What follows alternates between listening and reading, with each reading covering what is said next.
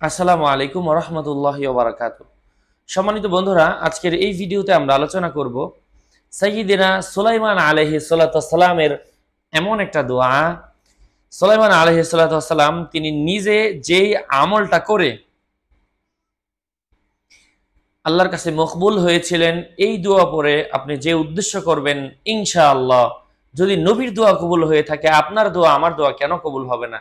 তেমনই একটা অজিফা আপনাদের সাথে আজকের এই ভিডিওতে শেয়ার করছি সম্মানিত বন্ধুরা আজকের এই অজিফাটা আপনাদের সাথে শেয়ার করছি সুরত নামল আয়াত নাম্বার উনিশ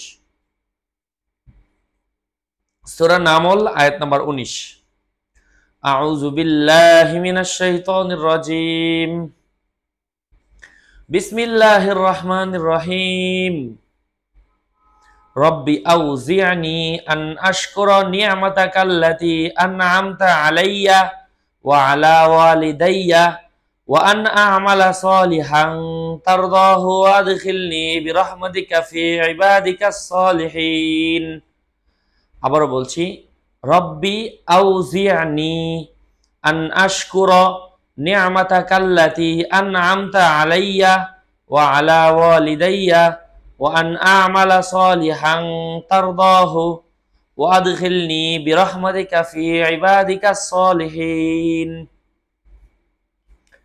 এই আয়াতের মাধ্যমে আল্লাহর শুকরিয়া আদায় করা বোঝাচ্ছে, মান কল্লাহু। যে আল্লাহ শুক্রিয়া করে আল্লাহ পাক তাকে বাড়ায় দেন এবং যে আল্লাহর শুক্রিয়া করে না কল্লাহু আল্লাহ পাক তার কমায় দেন। এই জন্য সম্মানিত হাজিরিন, আমরা অবশ্যই আল্লাহ তাআলার শুক্রিয়া আদায় করব। মুসা আলহিসাল্লামের সম্প্রদায়ের সৈয়দনা সুলাইমান আলহি সাল্লাম তিনি আল্লাহর কাছে এই দোয়াটা করেছিলেন।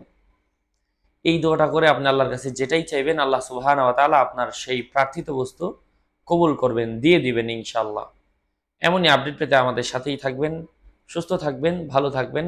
আসসালামু আলাইকুম রহমতুল্লাহ বারাকাতুহ।